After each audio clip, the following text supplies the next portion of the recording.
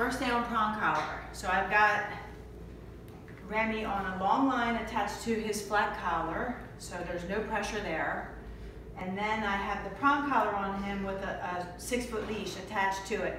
All I'm doing today is introducing him to that pressure on, pressure off sensation of the prong. Let's go, buddy. Just want this to, I do not want this to overwhelm him. He has a tendency to be overwhelmed by every little thing. It freaks him out. So just real, it's, this is a very gentle process. You know, hardly, see, I'm hardly holding that, but I'm applying just the slightest bit of pressure and release. Okay, come on.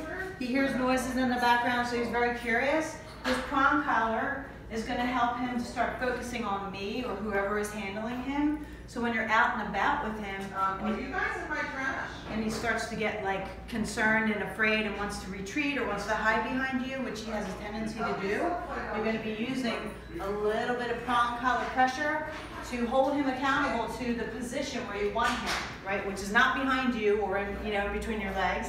Place. You're just going to park him in a sit when he's when you're out and about with him. Here.